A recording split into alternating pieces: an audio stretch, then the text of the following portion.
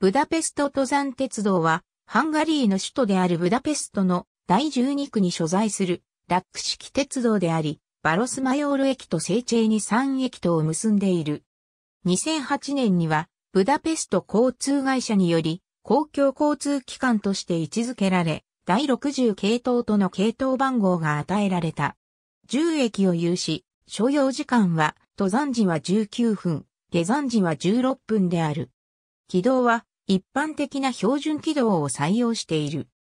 もともとブドウ畑や山林であった第12区のシュバーブヘジュ地区は19世紀に別荘地や散策地として人気を博すようになり、1868年には増加する需要に鎖橋のブダ川からズグリゲトまでの馬車鉄道が開設された。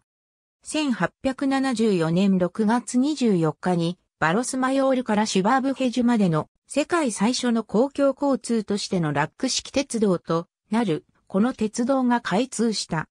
延長2883メートル、高低差は264メートル、標準期間で全線にわたりラックレールが敷かれており、片勾配で最急勾配は102.5パーミル。ラックレールの方式は、リッケンバッハ式であった。当時まだ列車の行き違い箇所のラックレール用の分岐器が開発されておらず、トラバーサーで解決した。1890年5月17日には、聖地に3駅までの延伸区間が開業し、全長3733メートル、起点と終点との高低差315メートルとなった。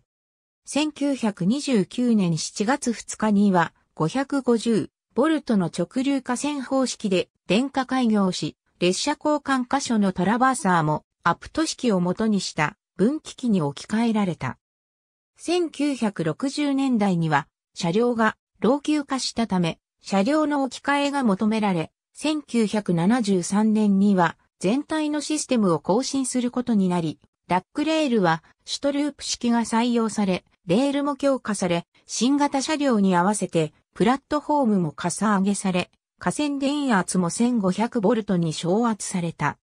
開通初期には SLM 製の二軸の蒸気機関車3両が用いられた。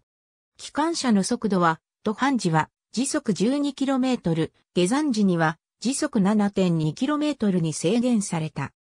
1929年に電化と同時に導入された電車はスイスから部品の供給を受け、木造の車体はブダペストのガンツ車で作られた。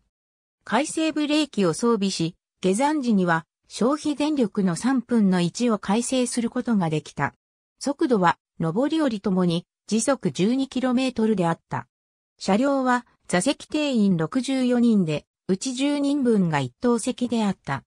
1973年8月20日に設備の一新に合わせ登場した新型電車はオーストリア製で、電気部品はブラウン・ボベリ社が提供した。電気ブレーキを有するが、電力改正はできない。電車は7編成あり、1M1T の2両永久連結で、制御不随車が山上川を向いている。